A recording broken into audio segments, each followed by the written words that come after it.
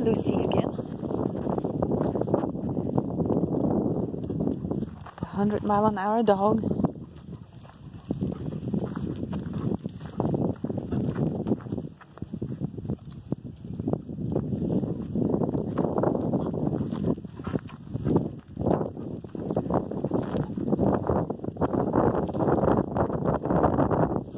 Thank you, Lucy.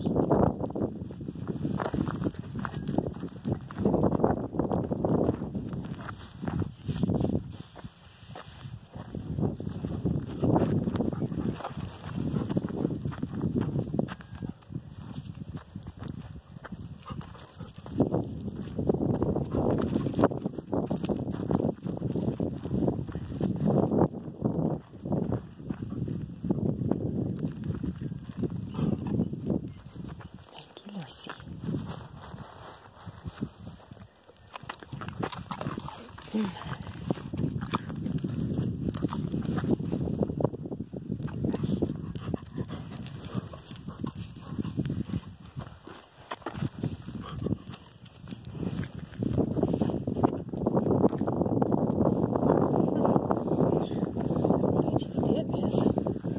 Gave her a treat and started cuddling at the same time.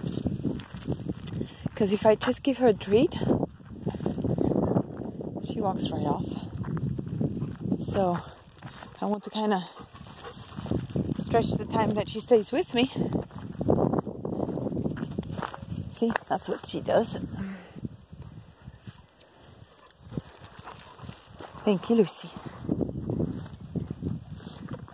I give her a treat when she comes back, and then, like right now, a little bit of cuddle, and she walks off anyway.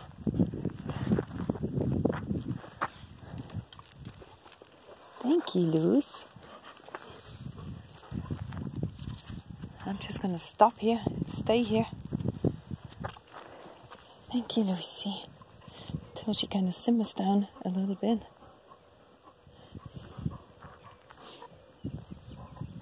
Till body and mind are in sync.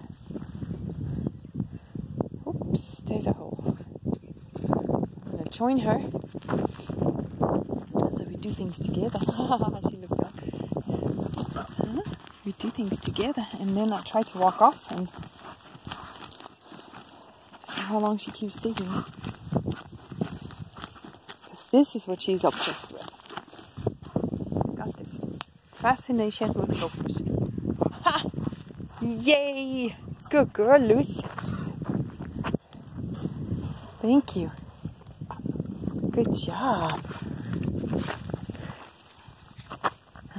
Not gonna walk right now because she's very excited.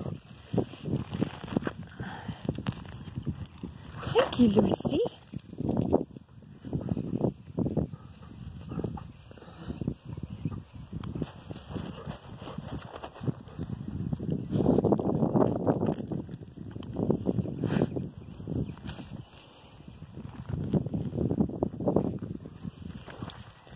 I set myself a 14 day challenge deadline to really make good change in her. Actually, good change in me too.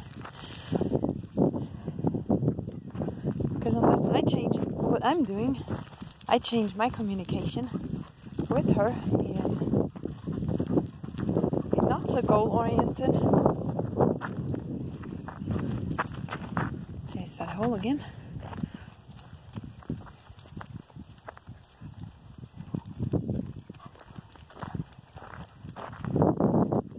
Until that happens, there's not going to be much change in her. Thank you, Lucy. So, 14 days. Today is, I think, day four.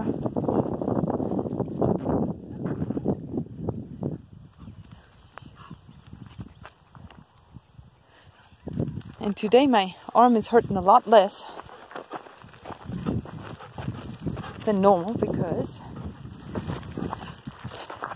see I'm just gonna walk away from her and try not to get all that pressure on that darn collar. Lucy, this way. Good girl. Thank you. Lucy. Stop. Come on. Come on back. Lucy, stop. Thank you.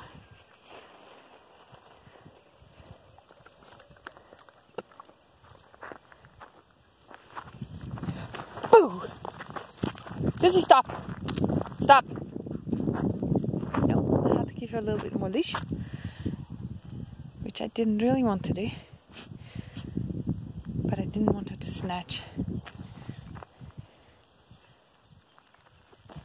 Lucy, this way. Good girl. Thank you. I'm gonna take that leash shorter again. Stop.